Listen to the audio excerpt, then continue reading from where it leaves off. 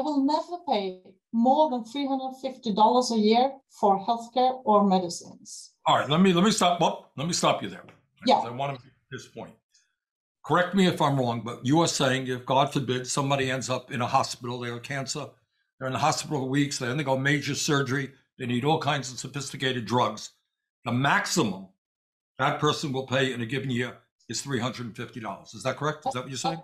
That's correct. That's correct. That means that just being a Norwegian citizen, I am entitled to health care. Is that is that what we're talking about? Absolutely. Yes. You're entitled to it. And everybody is covered. Everybody is covered. How much does it cost me to go to college uh, in Norway? The college is free. Yeah. And graduate school is free as well. Yeah, yeah. Everything is free. Let's say I gotta go to get a job in McDonald's. You have McDonald's in Norway, right? Everybody has a McDonald's. Uh, and a flipping hamburgers. How much do I make? $20 per hour. Please repeat that. Twen- $20 per hour. Okay, twenty dollars per hour. Yeah.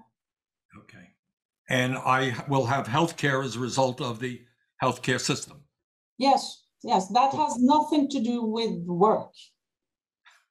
The healthcare is there anyway. See, what a radical idea not to have health care attached to your job, that it's there for everybody. But that's another story. Okay. Did everybody hear what you just said?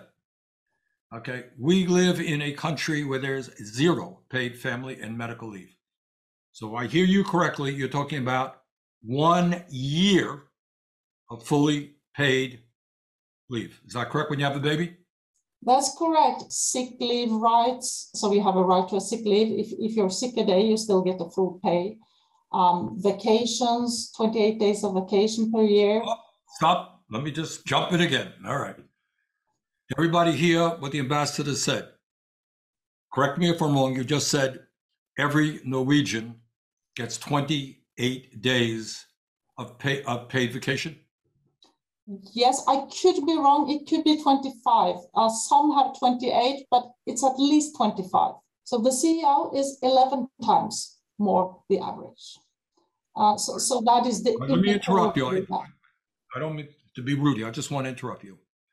What the ambassador just said is that in Norway, the ratio of CEOs of their major corporations compared to the average worker is 11 to 1. In this country, it is 350 to 1. Somewhat of a difference.